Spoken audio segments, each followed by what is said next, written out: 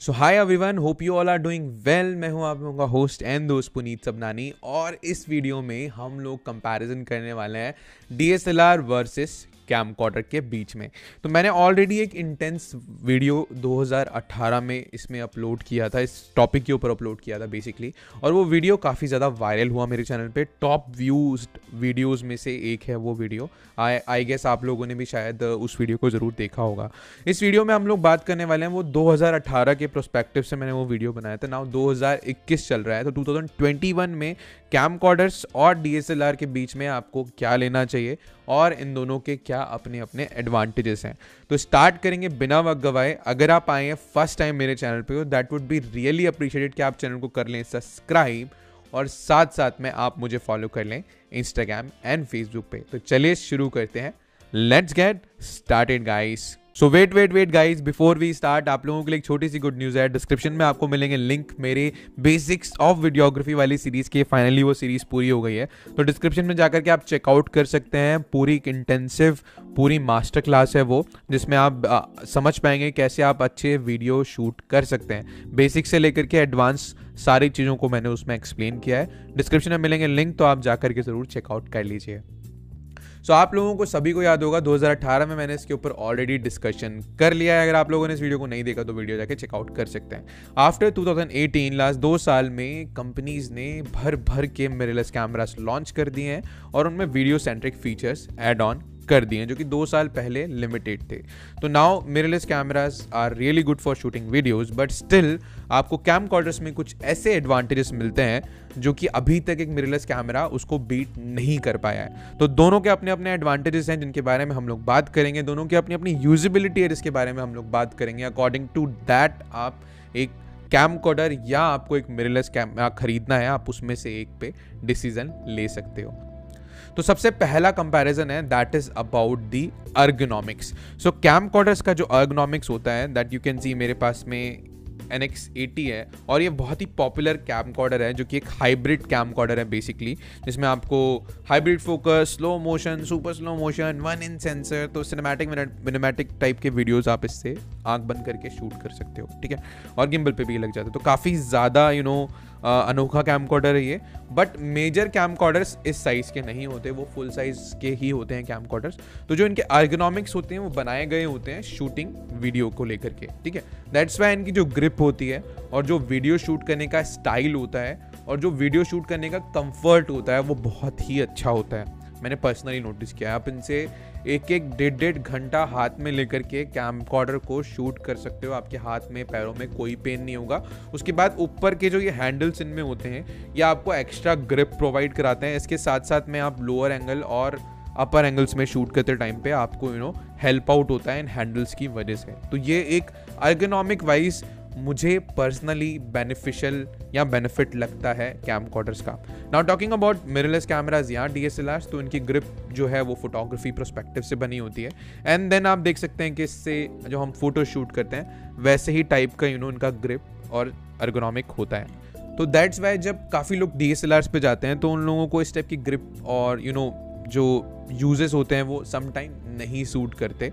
But कुछ लोगों को ये ग्रिप भी पसंद होती है, कुछ लोगों को यू नो वीडियो कैमराज वाली ग्रिप नहीं पसंद होती जो शुरू से लेके फ़ोटोज़ कैमराज पे काम करते हैं, उनको इस टाइप की ग्रिप ज़्यादा पसंद होती है।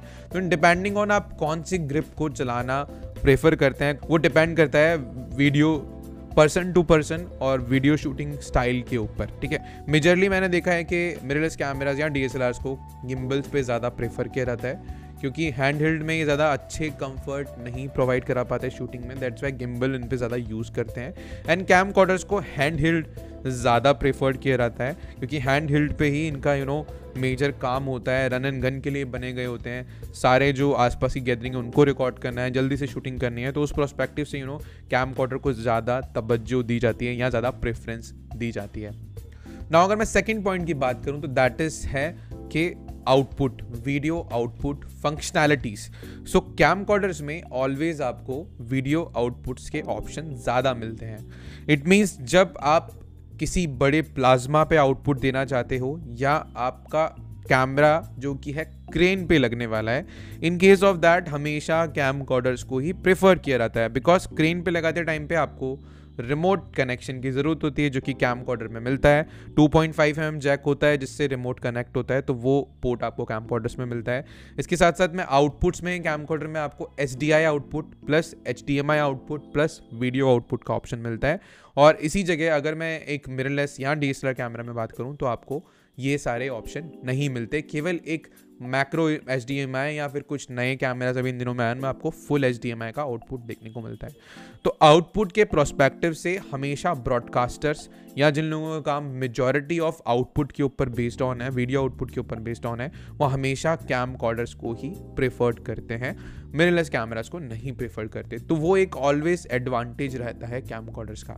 Now talking about third point जो कि है वीडियो रेजोल्यूशन और कैमरा का सेंसर साइज़ सो इन दिनों में जो वीडियो रेजोल्यूशन हैं वो सब टाइप के कैम में और मिररलेस कैमरा में ऑलमोस्ट टाइप सिमिलर आपको दिखेंगे. कैम कॉर्डर्स फोर के तक शूट कर सकते हैं, वैसे ही मिररलेस या D S L R cameras भी फोर के तक शूट कर सकते हैं. तो रेजोल्यूशन वाइज भर भर के दोनों में आपको ऑप्शन मिलता है. कोई ऐसा नहीं है कि रेजोल्यूशन में आपको कैम कॉर्डर में कम मिल रहा है या मिररलेस में ज़्यादा मिल रहा है. कैम कॉर्डर्स में आजकल स्लो मोशन का ऑप्शन भी आने लग गया है, जो पहले नहीं आता था। और that's why N X eighty Z ninety और ये जो पाम कैम कॉर्डर्स हैं सोनी ने इंट्रोड्यूस किए थे, क्योंकि इनमें आपको स्लो मोशन का ऑप्शन मिल जाता है। और मिररलेस कैमराज भी इस वजह से ही पॉपुलर हुए थे बिकॉज़ स्लो मोशन का ऑप्शन मिल जाता था, इस वजह से लोग स्लो मोशन वीडियो शूट करना पसंद करते थे। नाउ दोनों ही कैम कॉर्डर टेक्नोलॉजी में, साथ में साथ में डी टेक्नोलॉजी में, दोनों में ही आपको स्लो मोशन और नॉर्मल मोशन और फोर का ऑप्शन मिल जाता है। तो फ्रेम रेट की कोई दिक्कत नहीं होती।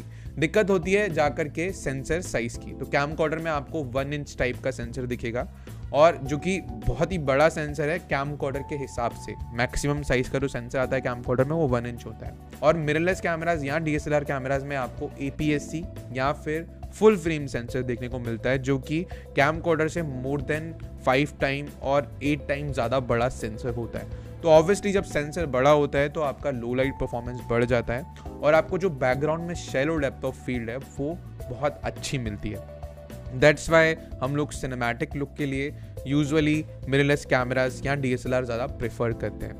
बट इसी हाथ में अगर मैं बात करूँ तो कैम कॉर्डर्स में भी बैकग्राउंड ब्लर हो जाता है बट इतना ज़्यादा शेलो डेप्थ ऑफ़ फ़ील्ड ये कैम कॉर्डर्स नहीं क्रिएट कर पाते बिकॉज़ ऑफ़ सेंसर साइज़ छोटा होता है, इसके साथ साथ में लेंसेज की भी लिमिटेशन होती है।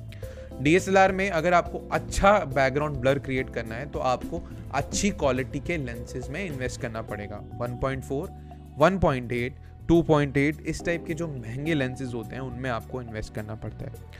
बट कैम कॉर्डर में ऑन दी अदर हैंड आपको फिक्स्ड लेंस का ही ऑप्शन होता है आप इंटरचेंज नहीं कर सकते हो।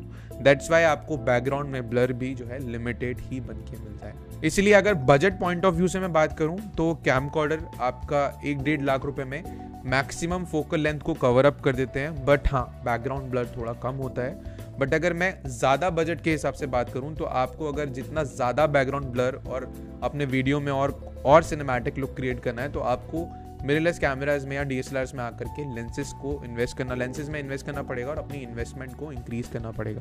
तो budget budget point of view से मुझे कैम कॉर्डर्स में ज़्यादा बेनिफिट्स दिखाई देते हैं बिकॉज़ ऑफ़ कम बजट में आप बहुत कुछ शूट कर सकते हो। और यहाँ पे ऑब्वियसली अगर आपको सिनेमैटिक एक्सप्रेशन चाहिए तो उसका भी अपना एक बहुत ही बड़ा एडवांटेज है, ठीक है? बट वहाँ पे आपको इन्वेस्टमेंट थोड़ा सा इंक्रीज करना पड़ता है। तो दोनों के ही अपने प्लस एन माइनस साइड्स हैं। दोनों के अपने प्रॉफिट एंड लॉस साइड्स हैं। ना अगर आपका काम, आपका बजट कम है और आप लेंसेज में ज़्यादा इन्वेस्ट नहीं कर सकते तो आप कैम कॉर्डर ले सकते हैं। अगर आपके पास बजट है एंड आप लेंसेज में इन्वेस्ट कर सकते हो then you can go with the mirrorless cameras या D S L R now talking about the audio option तो कैम कॉर्डर्स में अगेन ऑडियो को लेकर के एडवांटेजेस होते हैं क्योंकि आपको इसमें हाई क्वालिटी का एक्सएलआर इनपुट देखने को मिलता है। तो यहाँ पे कैम कॉर्डर है जिसमें आपको एक्सएलआर माइक्रोफोन आप कनेक्ट कर सकते हो इस कैम कॉर्डर में। उसी जगह अगर मुझे एक मिररलेस कैमरा में एक्सएलआर कैम माइक्रोफोन्स कनेक्ट करने हो तो वो ऑप्शन मुझे यहाँ नहीं मिलेगा। यहाँ पे मुझे थ्री पॉइंट एम जैक का ही ऑप्शन मिलता है। तो मैं केवल थ्री पॉइंट एम जैक के माइक्रोफोन को ही कनेक्ट कर सकता हूँ। तो ये अगेन एक डिसएडवांटेज तो नहीं है एनी हाउ आप ऑडियो तो रिकॉर्ड कर ही सकते हो। बट अगर आपको अपने कैमरा को मिक्सर से ऑडियो मिक्सर से कनेक्ट करना हो तो वो एक लिमिटेशन हो जाती है।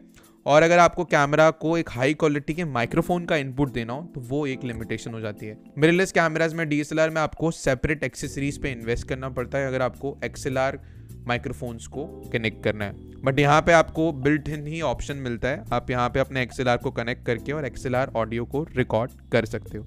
तो वो भी एक मेरे को लगता है पर्सनली एक एडवांटेज के तौर पे मैंने इसको यू you नो know, देखा है। जब वीडियो शूट के रहता है तो एक्सएलआर कहीं ना कहीं काम आ ही जाता है। नाउ हम बात करते हैं ऑपरेबिलिटी के बारे में। तो कैम में आपको बिल्ट इन वीडियो को लेकर के बहुत सारे ऑप्शंस मिल जाते हैं। जैसे कि बिल्ट इन एनडी फ़िल्टर मिल गया। तो अगर आप डे लाइट में शूट कर रहे हो तो आपको लाइट इंक्रीज करने की ज़रूरत नहीं है। आप एंटी फ़िल्टर को यूज़ करके यू नो लाइट को कट कर सकते हो। इसके साथ साथ में ऑपरेबिलिटी के हिसाब से इसमें सर्वो जूम इन होता है। तो आप servo zoom in zoom out जो स्मूथ जूमिंग हम बोलते हैं, वो आपको इसमें मिल जाती है। इसके साथ ही साथ में इसमें आप कस्टम बटन्स मिलते हैं। कॉमन कैम कॉर्डर में आपको छः से सात कस्टम सेटिंग्स मिल जाती हैं। बटन्स मिलते हैं जिन्हें आप कस्टमाइज कर सकते हो अपने अकॉर्डिंग सेटिंग्स में तो ये भी अगेन एक एडवांटेज है कैम कॉर्डर्स का। अगर मैं इसी जगह एक डीएसएलआर की बात करूँ तो वहाँ पर आपको एंडी फ़िल्टर ऊपर से लगाने पड़ेंगे बिल्ट इन कुछ नहीं होता। इसके साथ साथ में आपको कस्टम बटन्स भी तीन या चार कस्टम बटन मैक्सिमम एक डी पे मिलते हैं। तो ऑपरेशंस के मामले में ऑलवेज बिकॉज़ ऑफ़ कैम बनाया गया वीडियो के लिए तो वीडियो के लेकर के सारे ऑप्शन यू नो यहाँ पे प्रोफेशनली अवेलेबल होते हैं तो ये अगेन एक एडवांटेज मुझे लगता है। इसके बाद अगर हम बात करें तो रिकॉर्डिंग टाइम लिमिट तो आजकल मिररलेस कैमराज में रिकॉर्डिंग टाइम लिमिट कंपनी ने ख़त्म कर दी है कंपनीज़ ने ख़त्म कर दी है क्योंकि यूरोप का एक लॉ था डी को लेकर के, वो लॉ हट गया और नाउ अब जो वीडियो कैमरा जो मिररलेस कैमराज हैं, उनमें भी कोई टाइम लिमिट नहीं है रिकॉर्डिंग की। पहले होती थी तीस मिनट की बट अब कोई टाइम लिमिट नहीं है। बट टाइम लिमिट की प्रॉब्लम आती है जब हम लोग बैटरी लाइफ की बात करते हैं, जब आपकी बैटरी जो है, वो डिस्चार्ज हो जाती है पूरी की पूरी बिकॉज़ आप डीसी पे डायरेक्ट कनेक्ट नहीं कर सकते मिररलेस कैमराज को, ये अभी भी लिमिटेशन है तो आप लॉन्ग वीडियो मैक्सिमम एक या डेढ़ घंटे तक का रिकॉर्ड कर सकते हो।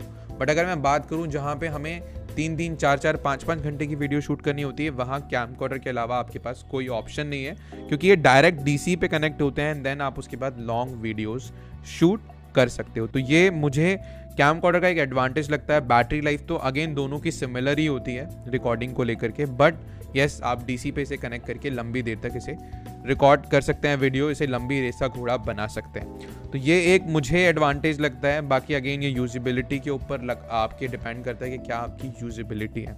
लास्ट मैं इस वीडियो को समराइज करना चाहूँगा और मैं आप लोगों को बताना चाहूँगा कौन सा आप खरीद सकते हैं। सो so, जैसा मैंने आप लोगों को एडवांटेजेस बताए दोनों के अपनी अपनी यूजिबिलिटीज़ हैं। मैंने पर्सनली नोटिस किया है कि कैम और एक मिररलेस कैमरा अगर आप वीडियो शूट कर रहे हैं तो दोनों ही यूजुअली आपके पास होने चाहिए शूट करते टाइम पे। क्योंकि दोनों के अपने एडवांटेजेस हैं और दोनों ही सीमलेस बना देते हैं वर्क फ्लो को जब हम लोग यू नो वीडियो शूट करते हैं किसी भी टाइप के इवेंट अगर आप नॉर्मल बैकग्राउंड ब्लर से खुश हैं और आपका बजट लिमिटेड है और आपको लॉन्ग बैटरी लाइफ आपको लॉन्ग वीडियो शूट करना video ergonomics you know built in zoom in zoom out काफ़ी अच्छी zoom range 4K slow motion ये सारी चीज़ें चाहिए देन आप एक कैम कॉर्डर पर भी जा सकते हैं, क्योंकि कैम कॉर्डर भी आपके काम को आसान बना देता है वीडियो शूट करते टाइम पे। अगर आप सिनेमैटिक एक्सप्रेशंस चाहते हैं और आप लेंसेज में इन्वेस्ट कर सकते हैं, अपने बजट को इंक्रीज कर सकते हैं then you can go with the D S L R और मिररलेस कैमरा राइट तो that's it about in this video guys आशा करता हूँ आप लोगों को ये वीडियो पसंद आया होगा। ये 2021 का एक नया वीडियो है और आई होप आप लोगों को ये वीडियो पसंद आया होगा। शेयर ज़रूर करिएगा अपने दोस्तों के साथ, भाइयों और बहनों के साथ, जो लोग नया कैमरा या कैम लेना चाहते हैं उनके साथ, ताकि उनके दिमाग में भी ये चीज़ क्लियर हो। कि उन्हें दोनों चीज़ें खरीदनी है, एक से काम नहीं होगा।